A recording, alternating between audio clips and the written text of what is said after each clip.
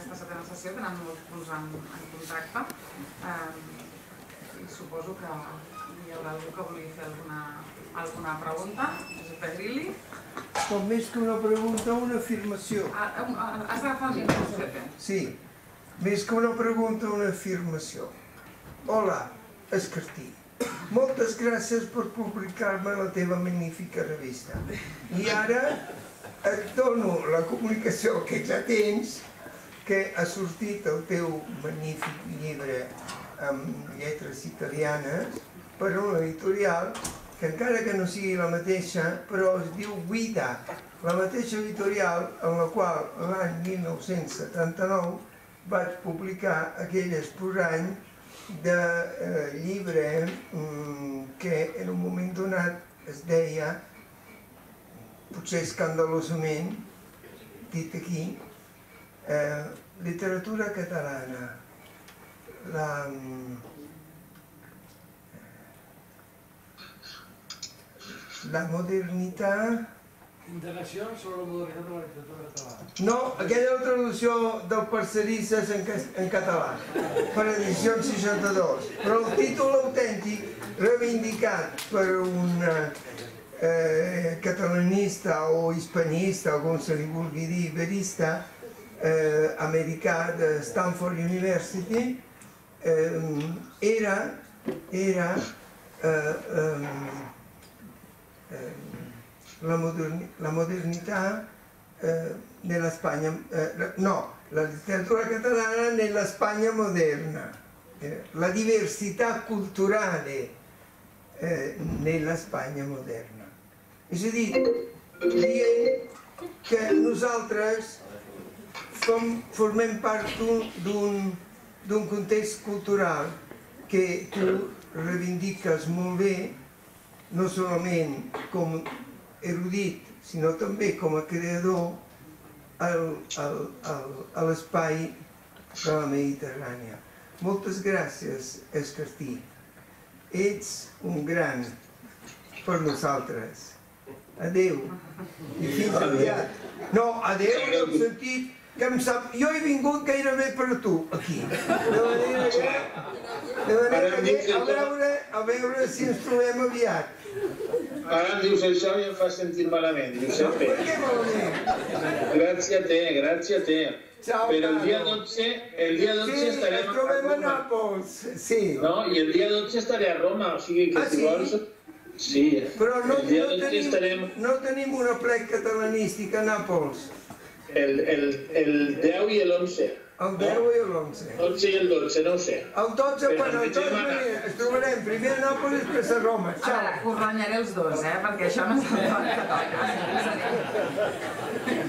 Estem tots encantats. Eh, El Josep fa referència al, a, la, a la traducció del barroc, no, del, dels dies d'Ira, que s'ha fet una traducció a l'Icle que acaba de, de sortir, que és una novel·la, ho dic pels, pels estudiants, um, si no l'heu llegida mai, que se situa en un barroc um, valencià i en què passen... És una novel·la molt bona i que està molt bé. Per passar el Nadal és fantàstica, no, Vicent? Sí, sí, gràcies. Gràcies per la propaganda que m'heu fet. Sí. Bé, doncs dit això, tornem, si plau a, a Gasulla d'Ursino i tornem, si plau a, a Josep Blanc, eh? um, i esperem que mm, feu alguna, si algú té alguna intervenció a, a fer. Si no, aprofitaré jo per fer-te una, una pregunta, Vicent, perquè com que jo explico Gasulla d'Ursino als, als alumnes, eh, i, i l'hauries d'explicar tu, ja que ets tu l'editor, eh? um, hi ha una cosa que has dit eh, que té a veure amb, amb un tema que potser no s'ha tocat del tot en aquestes, en aquestes eh, jornades i, i que té molt a veure amb, amb la dona. Eh, aquest, últim, aquest últim poema que, que comentaves, que és un, d'aquest, un diàleg seria jocoso per a les maitines de Navidad, que surt el Geroniet amb el, amb el lleó, aquest és un poema que comentem a, a, a classe sempre, perquè és una invectiva contra, contra les dones, que comença amb un espai molt concret, que és el forn, i després es, es trasllada, si no recordo malament, al llevador, és a dir, el, el lloc on, on les dones eh, netegen. Eh, acaben les dones estirant-se pels cabells i pel terra, com si fos, ja perdonaràs, una guerra de fang. Eh? Vull dir, la imatge és molt gràfica i és molt plàstica, i s'entén perfectament. I la pregunta sempre dels, de les alumnes, perquè com, com majoritàriament tenim alumnes a, a la- l'aula, és com textos així, eh, si, si el públic era majoritàriament femení i per quina raó provocaven la, la hilaritat. És, és, és un tema que doncs, crec que també és, eh, permet entendre el tractament de la dona eh, que és molt estereotipat en, en, en, determinats, en determinats textos com el que, com el que comentaves tu ara. Jo crec que, que a més a més hi havia un, un component eh, localíssim i és a dir, eh, quan ell parla del forn o parla de la, del, del llevador, eh, doncs eren llocs que ells freqüentaven i coneixien. Per tant, en, una, en un dels fragments diu eh, vols dir que aquest matí ja ha passat alguna cosa d'aquest estil? I, i diu sí, i de fet és això que tu dius, no? que s'han barallat, s'han no sé què. Això pot ser, recollia alguna, alguna anècdota local, alguna anècdota mm, concreta i que ell recreava en aquells versos. Per tant, les dones reien veient-se reflectida aquella anècdota en format de, de literatura, per dir-ho d'alguna forma. I perquè, el fons, jo crec que tota aquesta misogínia que nosaltres ara se'ns ompli la boca parlant d'ella i tot això, crec que era una cosa molt menys, molt menys virulenta del que nosaltres podem eh, concebre ara. És a dir, per a mi era una forma de, de riures i eren coses, eh, coses que tots, tots acceptaven. Eh? Si voleu fer l'exercici de veure alguna pel·lícula espanyola dels anys 50 o dels anys 60, veureu la quantitat de tòpics masclistes que es diuen, però per minut, i tots es feien i tots s'ho passaven bé. No, no hi havia cap manifestació de dones al carrer ni, ni coses així. Per tant, eren formes de, formes de sociabilitat que nosaltres, afortunadament, hem superat, que nosaltres veiem d'una altra manera i que eh, per a ells no, no, tenia, no representaven un atac, un atac, diguem-ne, violent contra, contra aquelles dones, crec jo. Sí, l'Albert. Però sí, vol dir alguna cosa. Sí. Sí, sí, el que volia dir era felicitar els que han intervingut perquè eh, visibilitzen mm, un, una cosa que a- anys endarrere eh, desconeixíem. Teníem la idea que hi havia dos poetes, dècades endarrere es deia només hi ha el, el rector de Vallfogona que aguanta la literatura en, uns, en unes èpoques de aquella paraula, no?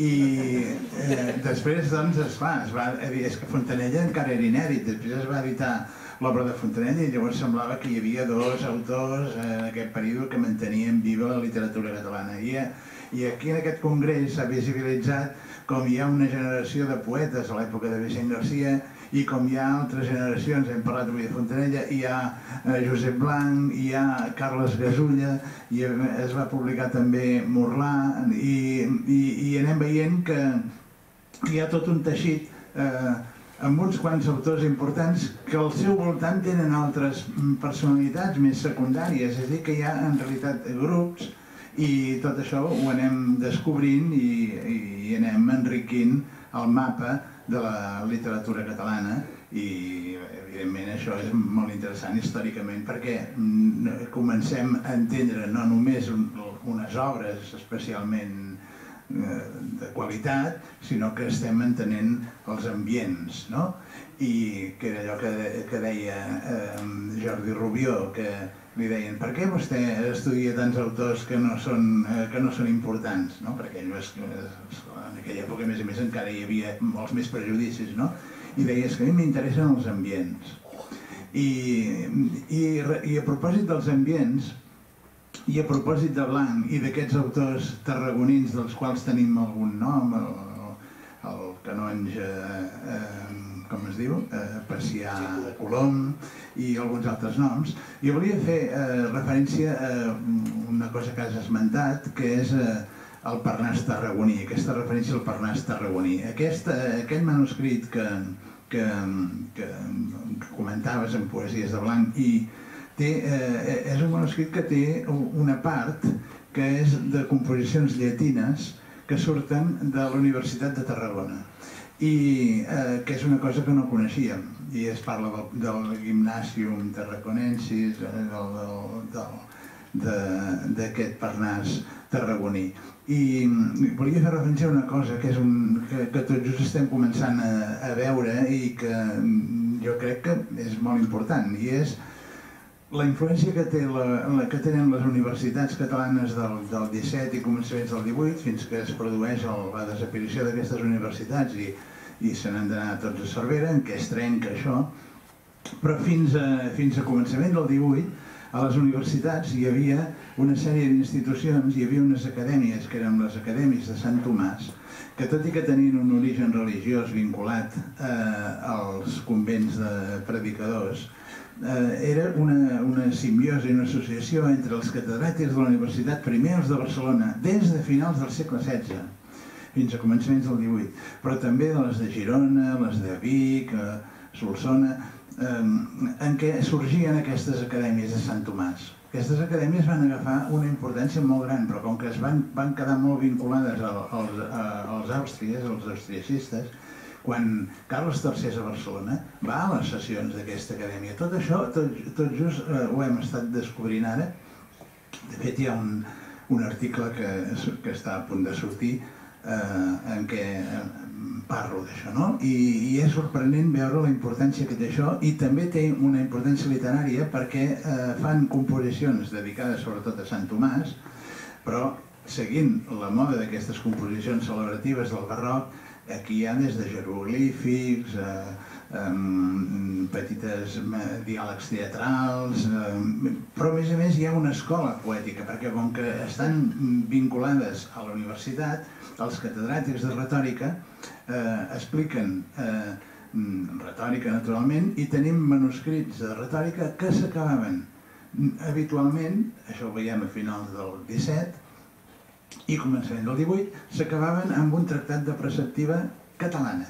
En alguns casos catalana i castellana, perquè eh, s'explicaven el que eren els sonets, el que eren les octaves, el que eren les dècimes, i aquests petits tractadets, dels quals en tenim 3 o 4 o 5 eh, exemplars manuscrits, eh, indiquen que des de la universitat s'ensenyava eh, a fer poesia en català. I això jo, jo diria que a les universitats eh, castellanes no, no existeix, o potser perquè no feia falta, o potser perquè existia d'una altra manera, però les universitats catalanes sí, i ensenyen això, i ensenyen específicament algunes coses catalanes, com a fer goig, per exemple, no?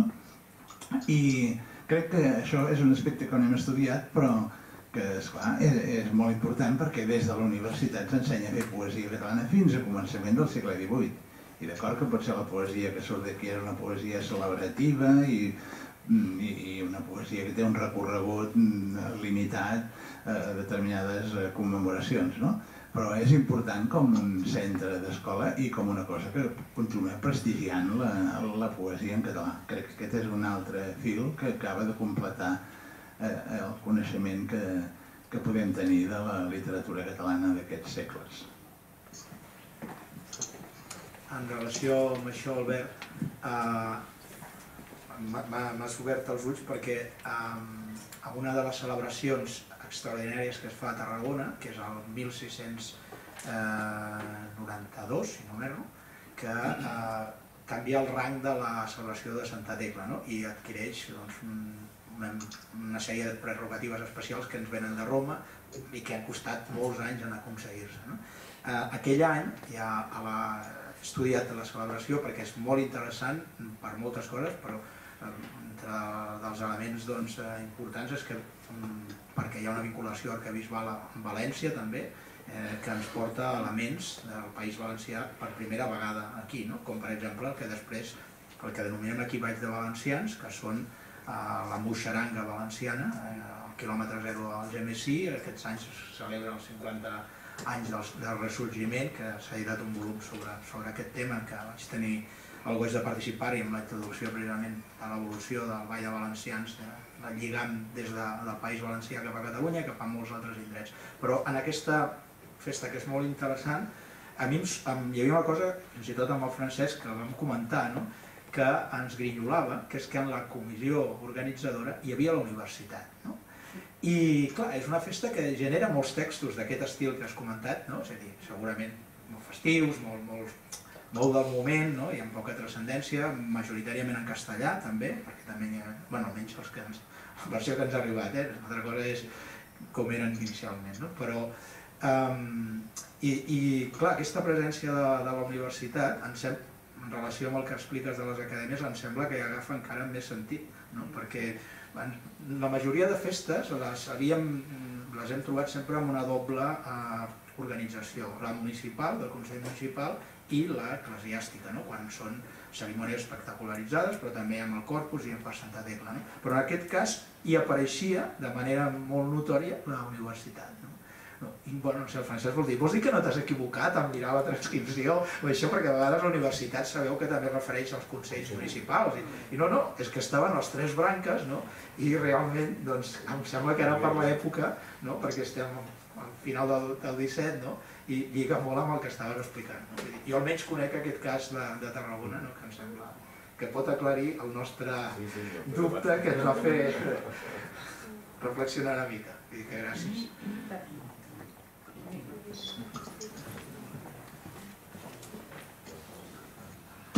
Jo també aprofito per felicitar els dos, eh, les dues ponències que s'han presentat ara mateix. De fet, en relació amb Jordi Bertran, amb una intervenció acalparadora de saviesa patrimonial i de fenòmens populars, eh, tinc una pregunta que te la faré en un altre moment perquè és molt específica, has parlat, jo tinc sentit al·ludir, amb la relació dels pastors de Fontanella, o l'amor Firmés i Porfia, i el Teatre de Pastorets del 17. Però això ja m'ho explicaràs al passadís, potser. Eh, parlaves de si Blanc té o no té eh, carrer, que no en té ni plaça ni carreró eh, a Tarragona, però us recordo que Francesc Fontanella tampoc no en té cap carrer, ni de plaça, ni de carreró, ni de absolutament res en cap ciutat, eh, ni a Girona, ni a Barcelona. Algú dirà, sí que hi ha el carrer Fontanella a Barcelona, però és el pare, però és el pare jurista. No pas Francesc Fontanella. Bé, eh, en tot cas, eh, ara aniré per una intervenció externa, per la de l'Albert, però molt ràpidament. Eh, L'Albert ens ha recordat aquesta nòmina de poetes que estem, que estem reconeixent, recuperant i gaudint eh, eh, darrerament. I aquesta, aquesta meva ara serà una molt breu intervenció, que me l'heu sentit 3 milions de vegades, però no totes les persones, perquè hi ha, gent que no m'ha sentit encara i eh, eh, eh, aprofitem per engaltar-les. Eh, això és un fenomen molt, molt i molt important. Recordeu que venim del segle XVI, justament del segle XVI es podeixen tot un seguit de fenòmens que tenen una incidència extraordinària en el desenvolupament normal d'una literatura culta en llengua catalana. Recordeu que al segle XVI hi ha un canvi de règim polític, en el segle XVI eh, apareix, o sobretot es desenvolupa la impremta, no? és el mitjà del segle XV, eh, cau en picat el mecenatge aristocràtic, que és la, la base del sistema literari eh, medieval, en el nostre cas, i per la resta d'Europa continua perfectament vigent, però en el nostre cas no, i hi ha una expansió enorme de la literatura en llengua castellana. Tots aquests fenòmens sumats fan, eh, tenen un efecte de xoc eh, extraordinari sobre, el sobre la producció literària catalana al segle XVI, que és un segle, que ho he explicat moltes vegades, erràtic, un segle de poca producció, en, en què cau literal, cau extraordinàriament el mercat de lectors en llengua catalana. El segle XVII suposa, com ja ha explicat tantes vegades l'Albert, un segle de modernització literària en què la literatura neu catalana es situa novament a l'alçada dels corrents estètics més difosos, més importants de moda a l'Europa de l'època, fonamentalment a Castella, però també aquesta nòmina de poetes vol dir que es restableix un mercat literari, i això és un fenomen d'una importància transcendental, transcendental, perquè això s'havia perdut literalment al segle XVI i això es veu en la nòmina de poetes. Per què hi ha tants poetes? Perquè hi ha lectors, si no una cosa no va amb l'altra. I hi ha lectors perquè hi ha un recorregut, una transmissió, uns cançoners que circulen i per sort bona part dels quals hem pogut conservar. És un afegit més a, a la importància del nostre barroc. Jo crec que aquí també podríem afegir un altre, uns conceptes que han anat sortint aquí i que són, que són importants per entendre aquesta, aquesta, tota aquesta gran producció poètica del, del barroc. Una, la idea de democratització a l'accés a la literatura. La literatura no és només una literatura tancada, sinó que és una literatura pública. Això amb, amb Gasoleu si no ho veiem claríssimament, també amb altres, amb altres autors. La idea dels ambients, la literatura, molta de la producció poètica s'explica en funció dels, dels ambients I una altra cosa que crec que ens, ens han servit aquestes... Jo crec que totes les jornades que hem anat fent al llarg d'aquest any Francesc Vicent Garcia, en què hem estat reflexionant tot sobre la poesia barroca, eh, és que el sistema literari no és únicament un sistema literari català o un sistema literari valencià, i s'hi ha d'insistir. Quan nosaltres vam fer, per molts anys, la... vam organitzar um, la, la, les tres generacions de, de, de poetes catalans, ho vam fer partint només dels poetes en llengua, dels poetes principatins, i ens vam eh, oblidar que a València està passant exactament el mateix i que hi ha poetes igualment importants com per exemple Morlà, com Gasoleu, sinó, etc etc. Tot això jo crec que ens ha de permetre eh, reconfigurar també una mica la visió que tenim d'aquest barroc tan allargat que arriba fins al segle, fins al segle XIX pràcticament, eh, i, i, i tornar-lo a explicar. És a dir, aquestes jornades serveixen precisament per això, per tornar a treballar i per tornar-lo a, a explicar. Després una altra cosa que ha sortit, eh, potser nosaltres no ens n'adonem perquè estem treballant sempre amb aquests autors, però acabem pràcticament eh, explicant sempre quina és l'afiliació eh, política d'aquests autors. També explica moltes vegades quina és la seva pervivència, o la, la pervivència més immediata o menys immediata. O sigui, el, el, el, el Vicent Escarté ha començat explicant doncs, que, que Guido Orsino era austriacista eh, i tu has començat explicant que, que Blanc era, era un poeta filipista i quan parlem de, de, de Fontanella expliquem que un poeta pro-francès. Eh?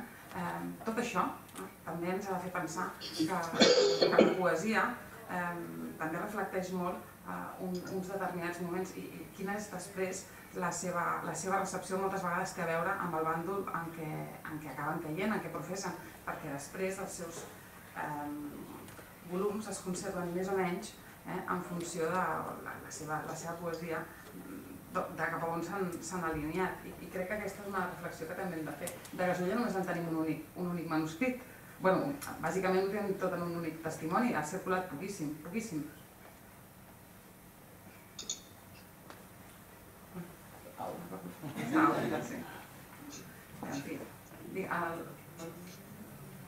Uh, bé, jo també felicito uh, les persones que han intervingut i a més a més uh, penso que realment les dues intervencions s'alimenten l'una a l'altra uh, curiosament, perquè no m'ho esperava diríem, no?, d'entrada i respecte de la hipòtesi del Jordi a veure, hi ha hipòtesis, de vegades, de vegades llancen hipòtesis que són molt arriscades, però amb 2.000 habitants, amb el grau d'analfabetisme que hi havia a l'època, i si es donen aquestes dues circumstàncies que, que tu expliques, crec que no és una hipòtesi gaire arriscada. Jo crec que, en principi, la podríem donar per bona i que sigui algú altre el que demostri que no, que no d'això, que no ho és, diríem, no? Com a hipòtesi, esclar. Uh, gràcies, Magí. Jo, per afegir-me al que la Laia demana d'aquesta superar les fronteres no? i treballar conjuntament, uh, també vull reivindicar que en l'àmbit teatral això uh, ho estem fent i és una evidència. És a dir, el, el, el teatre del País Valencià i de Catalunya, sobretot, també de les illes, però, però està superconnectat i qualsevol de les manifestacions que podem anar dient eh, i té connexions. Jo no les he esmentat totes, hi ha una que ja he obviat específicament, que és la representació de Sant Antoni, perquè quan vaig veure que em precedia eh, per evitar la possible coincidència amb el Vicenç, no? perquè és molt territori morellà, històricament, però el que és cert és que nosaltres hem documentat una trajectòria de la representació de Sant Antoni contra els dimonis a Tarragona des del segle XV eh, fins al segle XVII. El que passa que jo no l'he posat aquí, primer perquè no va existir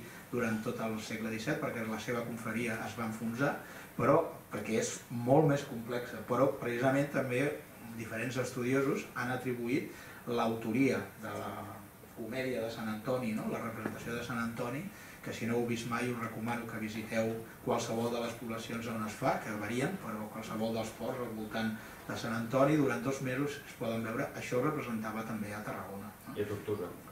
Tota, tota la, tota, bueno, Tortosa i totes les poblacions petites no? que tenim a la Dies, hi ha multitud de localitats en què hi ha aquesta mateixa representació. Per tant, realment hi ha una connexió eh, que no es va poder trencar, no es va poder estroncar amb tota la matèria de teatre eh, popular, més, això és evident, i, i que crec que cada document que apareix referma més aquesta connexió. No? I per tant, em sembla que val la pena molt seguir la teva, la teva línia, no? d'insistir en, en revisar això des d'una perspectiva de vasos comunicats perquè realment ho van tenir. Jo quan he anat, vaig llegir, aprofito per fer les recomanacions del llibre editat recentment per, eh, pel Vicenç, Alfons el Magnànim, a Edicions Alfons el Magnànim, perquè realment és una, un bon llibre per entendre el repertori d'aquest autor i, i em sembla que realment eh, ens explica, llegit aquests textos, ens explica moltes més connexions, almenys en l'àmbit que jo treballo, no? de teatre popular, doncs, que, que no, no teníem, que sospitàvem però que no teníem les proves. No? I per tant, aquest autor i d'altres considerats menors, no? doncs, ara per exemple, amb un treball de, del doctor Raúl Sánchez Francesc, eh, vam espigolar no? uns versets que eh, situen primer, la primera documentació del Vall de Valencians amb certesa de que és amb, una execució de construccions castelleres, no? a, amb un text de Sant Mateu, no? editat, bueno, per, no sé si és l'autor ara, no recordo, o sí, a la realització de Sant Mateu concretament, no? i avança uns quants anys més la primera notícia que teníem, que abans era d'una altra localitat, no? i per tant que, que crec que totes aquestes troballes estan configurant aquest mapa unitari molt, molt, d'una manera molt, molt ferma, eh? vull dir que em sembla que podem continuar per aquí o podeu continuar per aquí. No? També he d'afegir que està a punt de sortir un, eh, un llibre del Raül sobre el teatre al Bisbat de Tortosa. Clar, el Bisbat de Tortosa era molt ampli fins al segle XX, arribava fins a Sagunt. I llavors, evidentment, aquesta capilaritat, aquesta eh, interrelació és òbvia. No sé com es dirà, però em sembla que és alguna així, com el teatre de Tortosa, des del, Sí, sí.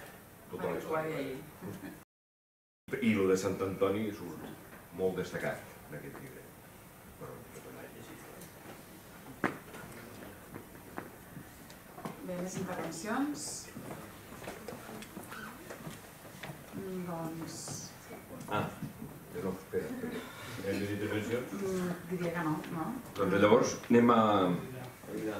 Abans d'anar a dinar, podem passar per la biblioteca i fer una ullada a l'exposició del... que ens han preparat els tècnics del CRAI sobre el sector de fora. Doncs moltes gràcies.